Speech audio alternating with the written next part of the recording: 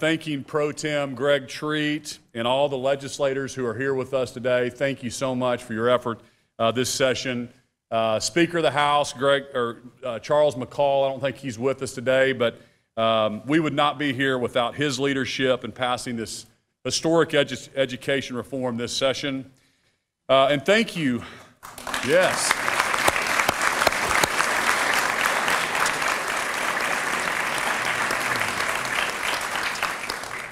And thank you all for your commitment to crafting policies uh, that put students first.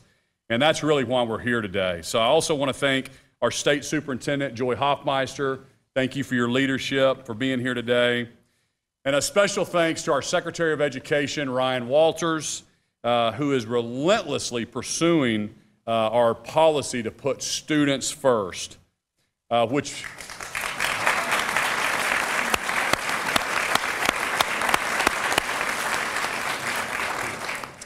Which brings me to our most important guests today. All of our K through 12 students from across the state of Oklahoma. Welcome to the state capitol. We're so honored that you're here.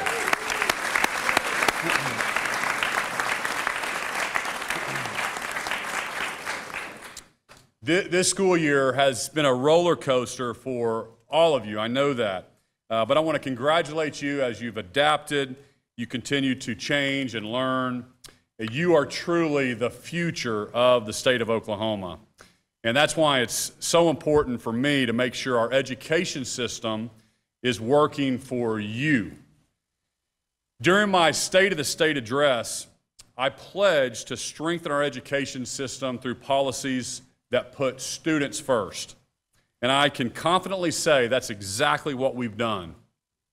Our fight for students started back uh, when some schools refuse to offer in person learning. If any of you in this room were governor and you heard the stories of the single moms and the single dads that called my office and said, Governor, what am I supposed to do? I have to go to work during the day. My first graders at home, there's no possible way they're learning how to read via Zoom. All the other schools in the state are open. We have to get our schools open. And we continue to fight, as well as everybody here in this room, to make that happen.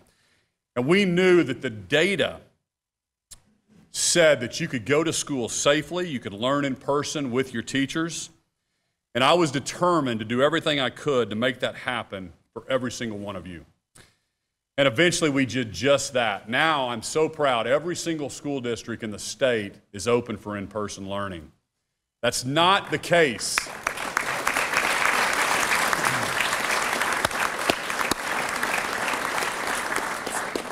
That is not the case that if you are uh, unfortunate to live in another state besides the great state of Oklahoma. When the legislative session began, we crafted policies to give you the best chance to get the best education. Because we knew that uh, education was not a one size fits all. You and your parents should have the freedom to attend the best school for you, regardless of your zip code or where you live. And wherever you go, the money should follow you. In Oklahoma, we fund students, not systems. There's 700,000 students in the state of Oklahoma, kids school age. We want to make sure we, we give you, the student, the opportunity that you need to get the best education uh, for your future. From there, we expanded funding potential for the Equal Opportunity Scholarship Program. This is going to help low and middle income households with more education options. We made sure that no school could teach that one race or sex is superior to another race or sex. That every first grader would learn history without being labeled as an oppressor or to feel guilt or shame based on their race or their sex. We created the Redbud Fund to create a level playing field for poor rural or charter schools. And just yesterday, I signed a budget that invests a record $3.2 billion in our public education system.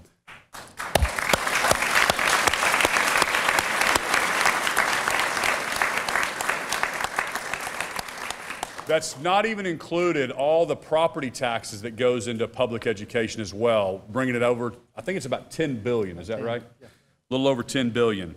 Every step of the way, every policy decision was, was made with you in mind, the students.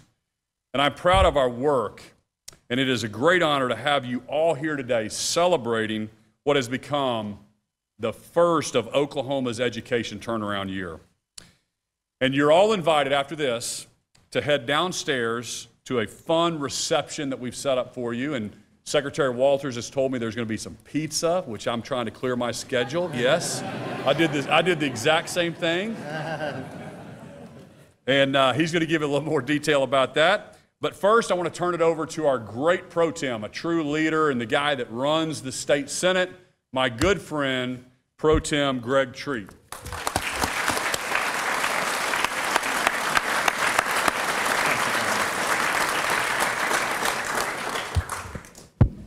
Thank you all for being here. This is uh, probably the 10th or 11th press conference I've done in here with the governor this session, but this is the most packed I've ever seen this room. It's awesome to see all the kids, especially, and the parents. Thank you to my legislative colleagues, to the superintendent, to the secretary, to Speaker McCall, who worked uh, together on this. But Governor, I've got to give it to you. When I two weeks ago or less than that, I was at Remerge for an event uh, and ran into Susan and um, got to take a tour of Positive Tomorrow's the new location. I hadn't been there yet, and it tore at my heartstrings. And I didn't think at that point that we could deliver on the Opportunity Scholarship Fund. I thought all hope was lost in getting it done this session. I was reinvigorated after seeing what we do for those families that, that use Positive Tomorrows as a transition in their life. And I came back renewed, trying to get that done. And I can tell you it wouldn't have happened without Governor Stitt partnering up to make sure it got across the finish line. Uh, we spoke in my office, and I delivered what I thought was the bad news the once again we got close but not there and he didn't give up. He didn't give up on you all. We didn't give up on you all, and we were able to get it across the finish line. The Equal Opportunity Scholarship Act will be the most transformative thing we've done in my time in the Capitol.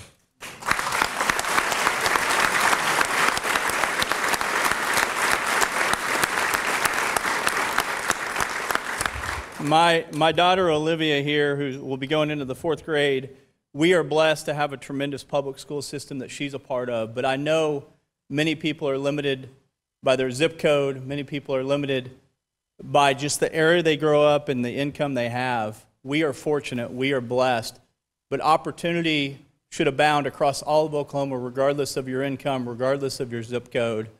Thank you all for being here. Thanks for the parents being here. Thanks for the advocates making sure we got it across the finish line. Thank you to the advocates Dave Rader for trying to run this two years ago.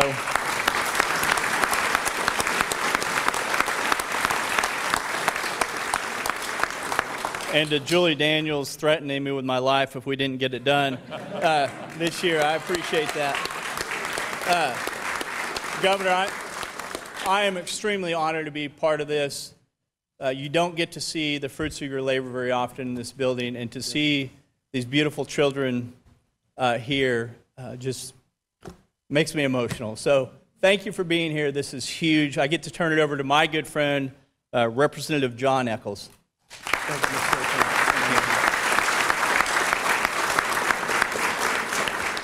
Well, I want to echo what the pro tem said. What an honor it is to be up here, and what an honor it is to. I've got to speak at several of these press conferences, but with, with all you guys and gals up front, this is by far the most fun because it reminds us why we did what we did. If you, this is the single greatest year for education in the history of the state of Oklahoma, and it was all accomplished this year.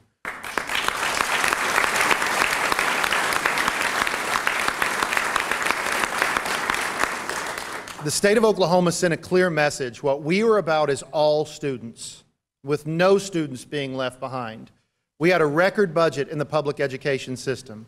We had, as you heard the pro tem say, transformative change through the, uh, the expansion of the Opportunity Scholarship, which will transform the state of Oklahoma, which I was honored to be able to carry on the House floor after trying to get it done for three straight years. And then we had the Redbud Fund to show that, that our, our charter schools are public schools and they deserve to be funded at the same level as everyone else.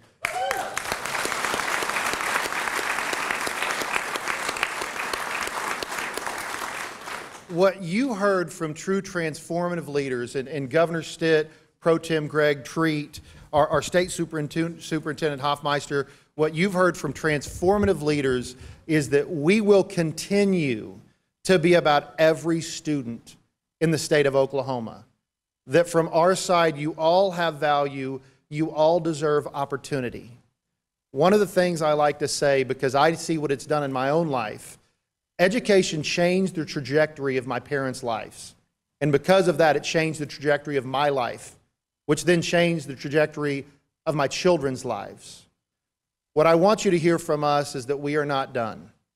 We are not done fighting for every child in the state of Oklahoma, and we will continue to fight against those who are willing to leave children behind because they don't fit their version of what traditional education should look like. I want to say thank you for coming. Thank you for continuing the fight. Um, thank you to these two gentlemen and to Speaker Charles McCall. Had they not continued that fight, we would not have got over this line. Um, Speaker Charles McCall very much willed it into existence, especially on the Opportunity Scholarship side on the House. Um, Pro Tem Greg Treat was not willing to let this issue go, and Governor Stitt showed incredible leadership. And speaking of incredible leadership, it's also my honor now to turn this over to a leader in the House and the architect of the Redbud Fund, Vice Chairman Representative Kyle Hilbert. Thank you.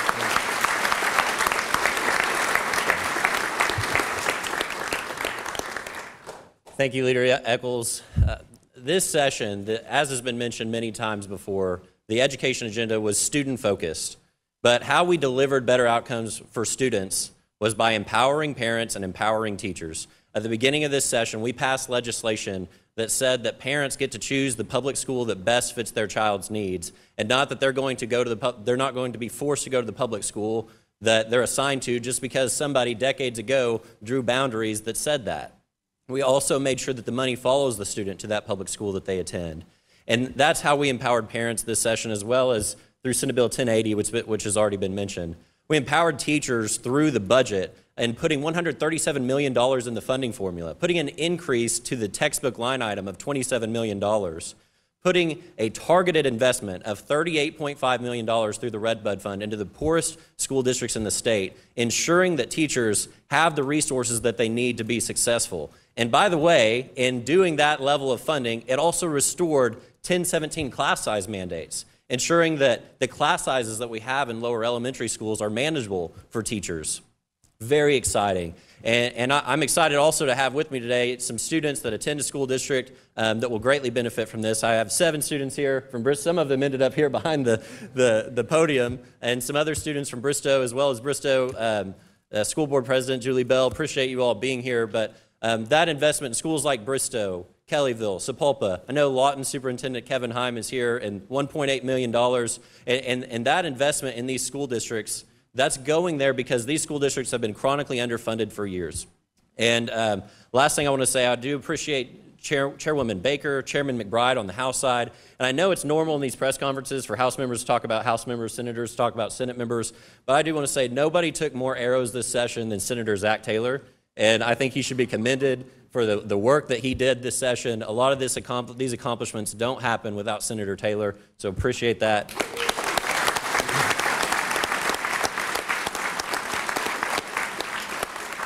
And, and with that, um, I want to turn it over to Superintendent Hofmeister. Um, her team was incredibly helpful, um, as well as uh, Shawn Hime with OSSBA in crafting the Redbud Fund. And you know, it's often said in this building that a bill is a great bill when nobody's happy. But you know what? You can craft legislation in this bill that everybody's happy. And we delivered success for all students, all public school students. And I appreciate Superintendent Hofmeister, and I'll turn it over to you. Thank you. All right. And truly, the leadership of those standing here, and the governor, thank you. We thank um, our, our um, leaders in both the House and the Senate, um, President Pro Tem Treat, Speaker McCall, Leader Echols, um, our um, chairs of our education committees and, uh, and appro- appropriation committees. We thank you. It took a lot of work, but everyone here today is here because they identify with something that was passed this year that really met a need, really met a need for students, a need for classrooms, the support that students need. It met a need for families, a need for families to be able to um, have a say in their child's education, how it's delivered, where they go. All of that is good and why we're here. 229, the Red Bud funding bill for um, these provisions, not just for our charter schools that have um, not had those resources, but also 300, over 300 uh, traditional schools as well that have not had the ability to give those resources in a lab or a particular uh, crumbling um, infrastructure that needs support. This is potentially transformative and a great victory for all of Oklahoma's school children and school families. And I thank everyone here. I will conclude by saying it is a phenomenal time to look back at where we were last year. Who could have imagined we would be in this place right now, a year later? Record state funds to public education, support for children no matter where they go to school we are seeing something big happen in Oklahoma, and it is the engagement of families, the engagement of communities, helping our students be ready for their next steps in learning, ready for post secondary pursuits, and ready for life. Thank you so much.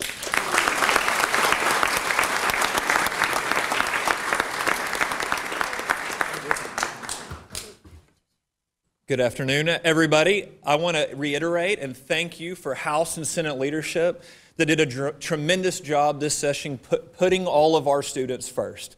So, first of all, what a tremendous session this has been for Oklahoma students. And, guys, I'm a teacher, so I just want to talk to you for a minute, okay? I want you all to look around the room for just a second. All these adults around the room, they're all here because they believe in you. They believe in you as an individual kid. They believe that you can change the world. Every single one of you. Every single one of you can change the world. That's what everybody in this room is here to tell you guys today. It doesn't matter if you go to a traditional public school, it doesn't matter if you go to a charter school, it doesn't matter if you go to a private school. You all have a unique set of talents and can change the world. And they have all invested in you so that the state of Oklahoma can be a better place. Because this group of adults around the room made the decision that investing in our students is the best thing they could do for our state to empower you, to empower your parents, and to make sure that you have a quality education. So, guys, I want you to remember that when you leave today. That all of these adults from foundations, from House and Senate leadership, school board members, all of these adults, head of all these organizations, that's what they're telling you today. That you guys are the future of Oklahoma and you can change the world. Thank you so much, and thank you, young people, for what all you've done this school year.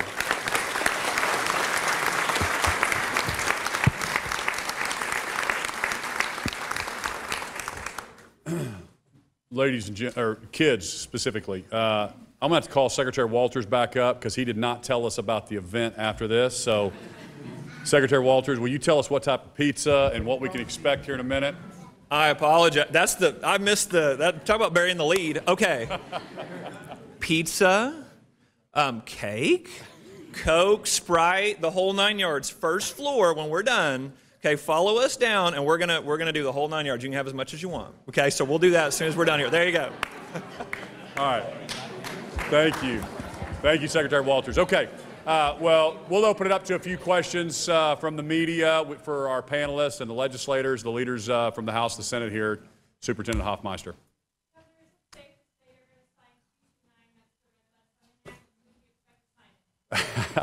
uh, it's safe to say that I'm going to sign that bill. I, yeah. It, it would be pretty bad had I sat up here at this press conference and then went back and vetoed it. So uh, I'm not sure if it's on my desk yet, uh, but uh, our team, our policy team, is reading all the bills, and we'll be reviewing later on this afternoon.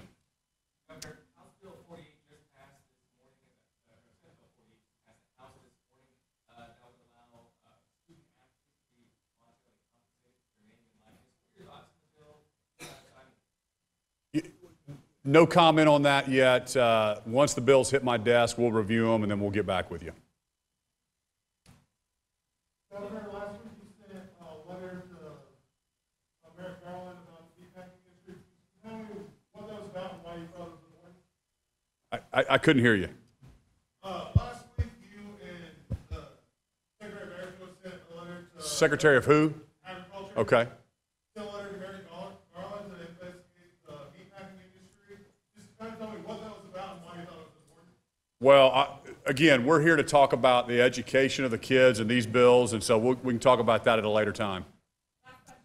Mr. uh, Pro Tem, yesterday the House uh, sent the Senate House Bill 2966, which uh, proposes new qualifications uh, and oversight requirements on virtual charter schools, education management organizations, things of that nature.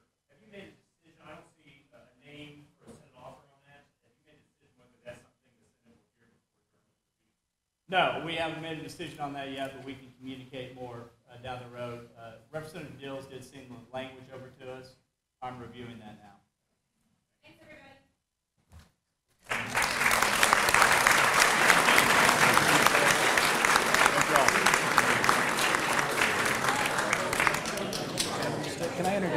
Yep.